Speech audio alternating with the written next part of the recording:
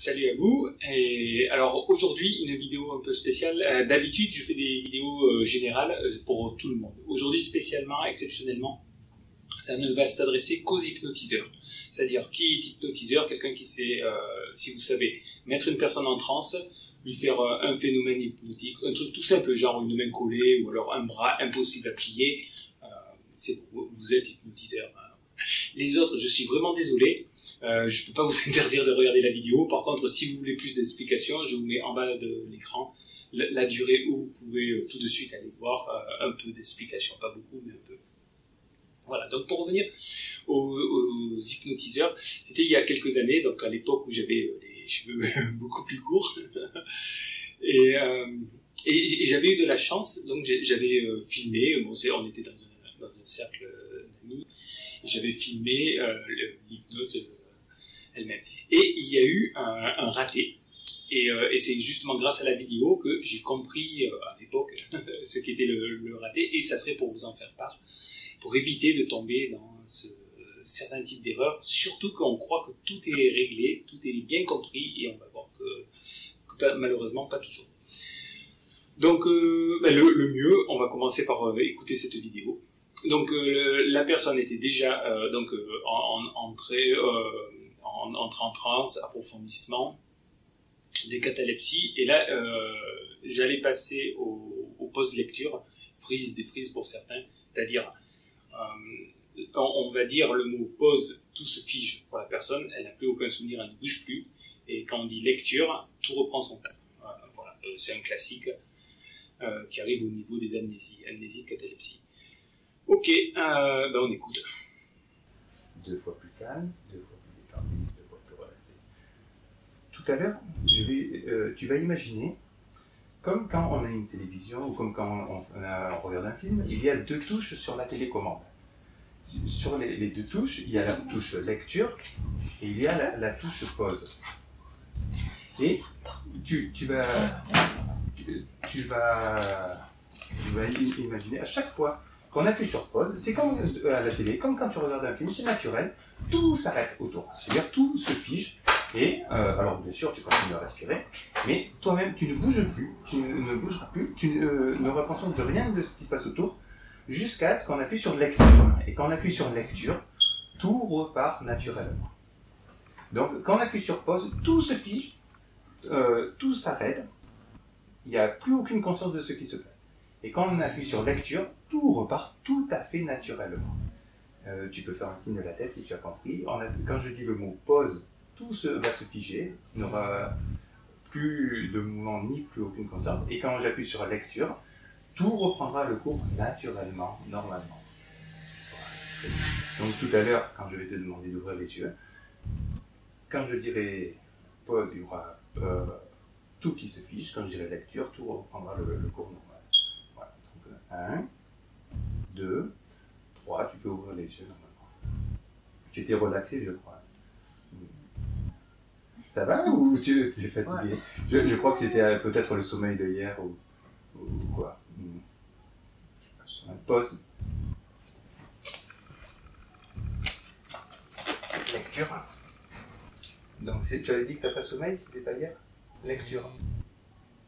C'était pas le, le sommeil de hier Euh, ça, ça va euh? Ah oui, oui, je croyais la soirée. Bon, c'est pas grave, c'est pas grave, je posais la question comme ça. D'accord, d'accord, c'est pas grave. Pause. Lecture. Ça va? Euh, tu, tu as pas l'air euh, trop à l'aise. Ou- Ouvre un peu mieux les yeux ou non? Non? Pourquoi la porte est ouverte? Je sais pas, je vais fermer la, je vais fermer la porte. Tu m'as. Est-ce que tu peux me passer, s'il te plaît, euh, euh, tends la main, prends la, bouteille de la bouteille de bière, euh, la canette de bière, euh, prends-la avec ta main. Bah, Passe-la moi, s'il te plaît. Vas-y. Bon, tends- non, si, elle est trop loin, tu- vas me passer l'ours en peluche. Prends l'ours avec ta main. Vas-y, attrape-le. Attrape. Ok. Ok. Donc, ce que je veux dire, tu vas refermer les yeux. Tu vas refermer les yeux tu vas te sentir euh, toujours bien. Et le, mot pause et le mot lecture n'ont plus aucun effet.